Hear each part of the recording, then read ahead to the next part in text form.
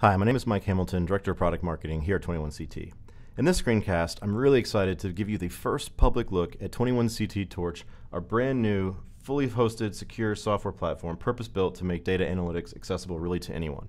In this demo, I'm going to walk you through a Medicaid fraud, waste, and abuse use case uh, as an investigator. In this case, maybe I'm particularly interested in a provider. Maybe it's Delphia. And as I type straight into the search box, rather than have to go into specific fields, it's searching across my entire data set and automatically bringing me back those providers that match that search, whether or not it's a provider, recipient, location, things of that nature. In other situations, I may actually be looking for leads that I want to go in and uh, do some investigation on. In that case, we have our analytics down here on the right, and I've got five populated here. And what we define analytics as is really just a question or set of questions you want to ask of your data and get back not just some names and some, uh, and some scores, but even a little bit more context beyond that. So I'm going to run the providers by billing activity analytic. Uh, we'll just run it on the ambulance. You can see it's guiding me through as I'm navigating and it's going to pull back the dataset view. The dataset view is just a high level way to view those answers all from one place.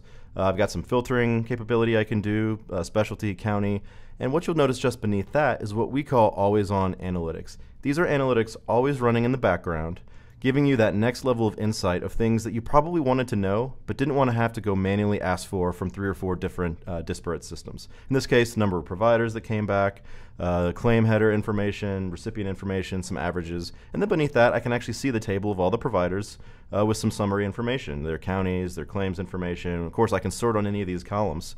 And I even have access immediately to their case histories, so I know, uh, I have an idea of what we knew about these providers uh, from a fraud, waste, and abuse perspective before. From here, I can click on any of these providers and navigate to the profile page, which again, you'll notice immediately high level insight with the always on analytics giving you case history, connectedness to other providers with case history, uh, procedure code, uh, procedure summary information, Medicaid claims paid history. I've, i can, of course, zoom in on these, uh, interact with this data to look at it as I see fit, not the way some legacy system tells me I should. Just beneath that, I can actually see associated locations with the provider, basically where they're practicing from. I can click on these locations and immediately see, again, more always on analytics about this location how many providers are associated with that location, uh, claims paid to this particular address, as well as integrated geospatial mapping with Google Street View to show me, look, this is a empty lot, uh, probably not somewhere a uh, ambulance company with 79 providers would be operating from.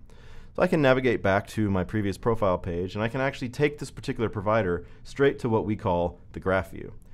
The graph view is a interactive and dynamic way to look at the people, places, providers, locations, and the relationships uh, between all of those things. Whether or not that's bank accounts, uh, addresses, uh, case history, associated providers, and I can interact and navigate uh, through this graph view. I can zoom in and out, I can drag things, uh, move them around, and not only can I see them, but I can also interact directly with it. So in this case, I have a uh, provider that has a bank account, uh, which I've probably gotten through uh, through the Medicaid enrollment process, and I can actually interact directly with it and pull back uh, what bank that account is associated with it, or even if there's other providers. And again, the always on analytics giving me the, the number of results I would get back from that question without me having to actually even go do it. So I can expand and see there's a completely different provider uh, that's associated via bank account with the original provider we could look at.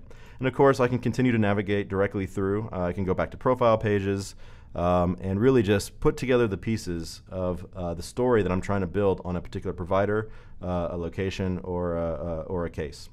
And essentially what I've done here with 21CT Torch is taking that original lead all the way to the behavioral context and the associations that you need to create a actionable investigative finding uh, that you can move forward to uh, prosecution, recovery, or policy change.